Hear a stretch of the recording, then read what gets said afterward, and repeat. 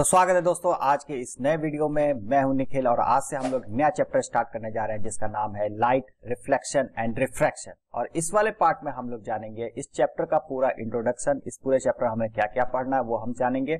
साथ साथ जानेंगे लाइट का एक रफ ओवरव्यू, कि लाइट होता क्या है, इसके बारे में जो फैक्ट्स है, उसको हम लोग जानने वाले इस वीडियो में। तो चलिए शुरू करते इस वाले वीडियो को। तो सबसे पहले समझते हैं लाइट क्या होता है।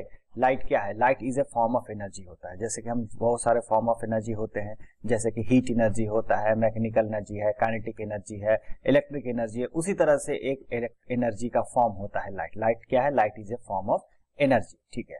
लाइट आखिर बनावा क्या चीज़ का होता है? ठीक है? तो लाइट बना हुआ होता है फोटोन्स पार्टिकल्स के फोटोन्स के बने होते हैं, ठीक है? जिसमें कि लाइट में वेवी नेचर भी होता है और पार्टिकल नेचर भी शो करता है डुअल नेचर ये शो करता है, क्योंकि ये इलेक्ट्रोमैग्नेटिक रेडिएशन में आ जाता है। ओके अब लाइट का एक सबसे बड़ा फैक्ट जो हम लोग बचपन से पढ़ते हैं light always travels in a straight line ठीक है? तो लाइट जो है हमेशा एक स्ट्रेट लाइन में चलता है, जिसकी एक स्पीड होती है, जो कि एक फिक्स्ड स्पीड होती है इन वैक्यूम ठीक है? वैक्यूम में। अगर वैक्यूम नहीं है तो इसकी स्पीड वेरी करेगी, लेकिन अगर वैक्यूम है तो इसकी स्पीड बिल्कुल भी नहीं वेरी करेगी, जिसकी स्पीड हो जाती है two lakh ninety nine thousand seven hundred ninety two kilometre per second. मतलब इतना किलोमीटर तो इतना बल्कि नंबर को याद रखने से अच्छा है, इसको थ्री लाख बना देते हैं।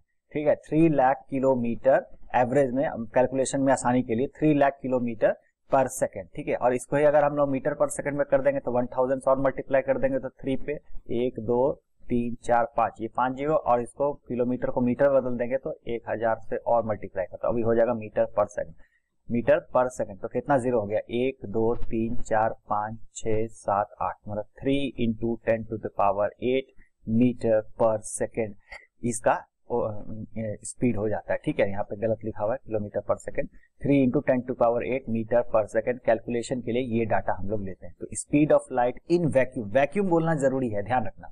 तो वैक्यूम में कितना हो जाता है? Three point eight three into ten to power eight metre per second इसका स्पीड हो जाता है। अब समझते हैं कि लाइट आखिर उत्पन्न कहाँ से होती है, इसका सोर्स क्या होता है? तो लाइट को आने के लिए कोई ना कोई एक लुमिनस सोर्स होना चाहिए, ठीक है? जैसे कि एक सन हो गया। Sun is a source of light ठीक है? स्टार्स भी ये सोर्स ऑफ़ लाइट है। लाइट बल्ब जो हमारे घर में होते हैं, वो भी एक सोर्स ऑफ़ लाइट है। लेजर्स होते हैं, वो भी एक सोर्स ऑफ़ लाइट है, ठीक है?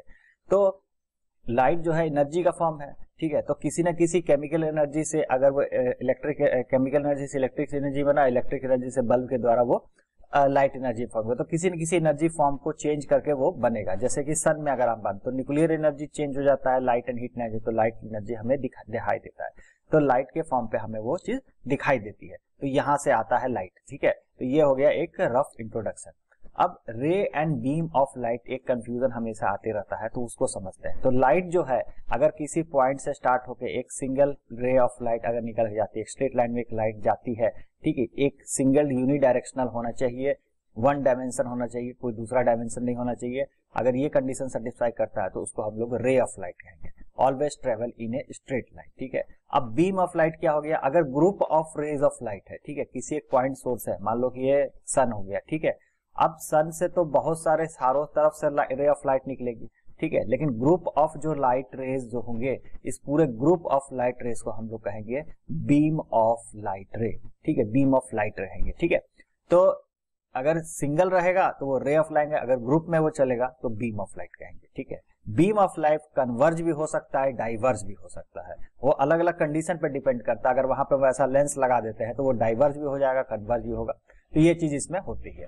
अब एक नया टॉपिक यहाँ पे आ जाता है। How do we see something हम लोग कोई भी चीज़ देखते कैसे? ठीक है? तो मान लेते हैं कि यहाँ पे कोई एक ऑब्जेक्ट रखा हुआ है। ठीक है? ये ट्रायंगल जैसा कुछ ऑब्जेक्ट है। ठीक है? इस पे रे ऑफ़ लाइट आई। कहाँ से रे ऑफ़ लाइट मान लेते हैं सन का रे ऑफ़ लाइट इस पे आई। ठीक है?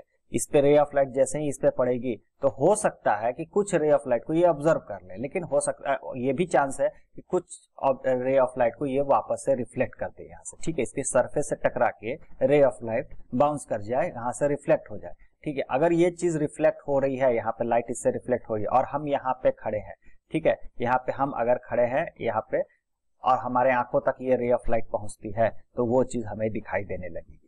मतलब कि कोई भी चीज़ हमें दिखाई देने के लिए एक सोर्स ऑफ़ लाइट चाहिए, जो कि किसी ऑब्जेक्ट पे पड़ना चाहिए। जिस ऑब्जेक्ट को हमें देखना है, उस ऑब्जेक्ट पे पड़ना चाहिए और उससे लाइट रिफ्लेक्ट होनी चाहिए। ये कंडीशन अगर आती है तो वो चीज़ हमें दिखाई देने लगेगी।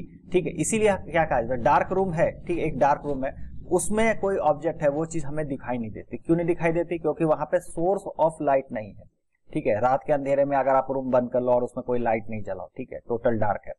तो उसमें कोई सोर्स ऑफ़ लाइट तो है नहीं। तो सोर्स ऑफ़ लाइट नहीं है तो कोई भी ऑब्जेक्ट वहाँ पे है तो उस पर लाइट पड़ेगी ही नहीं तो रिफ्लेक्ट करेगा ही नहीं। ठीक है? ना लाइट पड़ेगी उस पर आएगी, ना ही लाइट को रिफ्लेक्ट करेगा, जिसके कारण वो ना ही वो हमारे आँखों तक पहुंचेगी, इसी कारण वो चीज़ हमें दिखाई नहीं देती। इसीलिए डार्क रूम में बिल्कुल डार्क हो जाता है, हमें कुछ भी दिखाई नहीं देता। तो ये पूरा फेनोमेना होता है कि कैसे हमें कोई चीज़ दिखता है।